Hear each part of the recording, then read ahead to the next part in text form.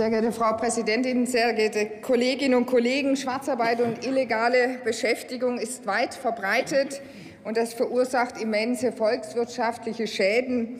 Dem Staat entgehen so Steuereinnahmen und den Sozialversicherungen Beiträge. Und hier geht es ja um viele Milliarden. Vor allem sind natürlich die Beschäftigten davon betroffen. Sie arbeiten hart und kriegen doch zu wenig Lohn.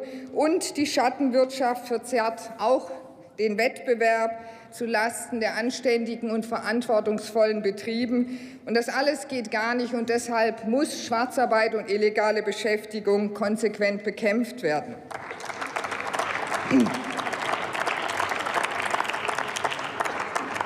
Notwendig sind effektive Kontrollen. Ich war selbst einmal einen Tag mit der Finanzkontrolle Schwarzarbeit unterwegs.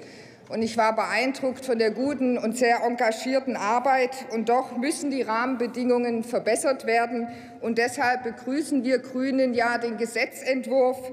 Wir hatten dazu auch eine wirklich interessante Anhörung mit guten Sachverständigen aus der Praxis. Auch Sie unterstützen das Gesetz, aber es gab auch dringende Appelle, den Gesetzentwurf an manchen Stellen nachzubessern.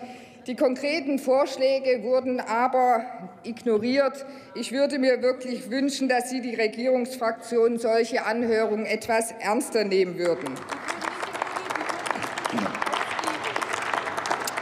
Wir werden dem Gesetz zwar zustimmen, aber auch wir sehen an vielen Stellen noch Handlungsbedarf. Und deswegen haben wir ja drei Änderungsanträge in den Ausschüssen gestellt, die leider alle drei abgelehnt wurden. Ich möchte sie kurz ansprechen. Erstens in der Landwirtschaft arbeiten viele Saisonarbeitskräfte auch aus dem Ausland. Wir sehen die Situation also anders als Sie. In der Praxis sind die Mindestlohnkontrollen der FKS relativ schwierig, und deshalb wollen wir die Landwirtschaft im Schwarzarbeitsbekämpfungsgesetz als sensible Branche mit aufnehmen. Das würde die Kontrollen erleichtern und die FKS auch tatsächlich stärken.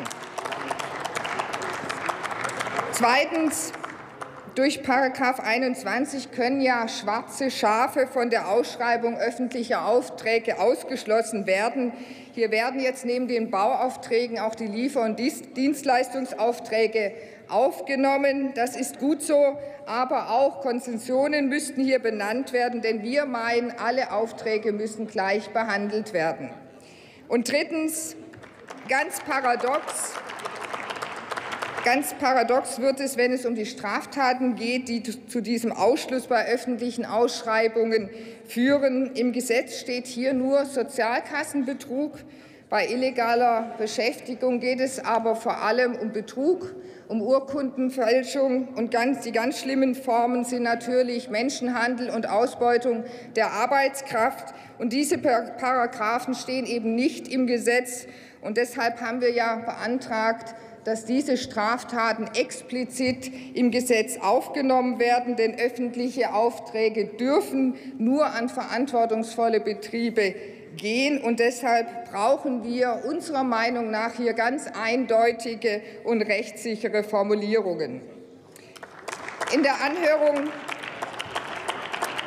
in der Anhörung wurde ein weiterer Aspekt immer wieder zu Recht kritisiert. Es wurde jetzt schon angesprochen. Effektive Kontrollen brauchen natürlich gute Rahmenbedingungen. Notwendig ist aber vor allem ausreichend Personal.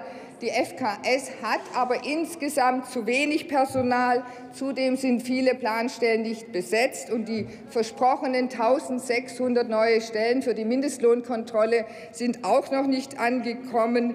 Die Aufgaben der FKS die nehmen immer mehr zu, und sie sind vor allem extrem anspruchsvoll. Und seit Jahren wird hier der Personalmangel nur verwaltet.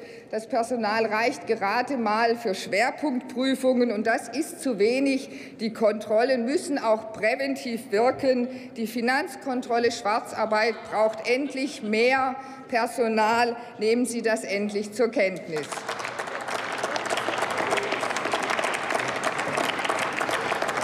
Ja, und die Anhörung hat auch gezeigt, dass sich Schwarzarbeit und illegale Beschäftigung immer wieder auch verändern.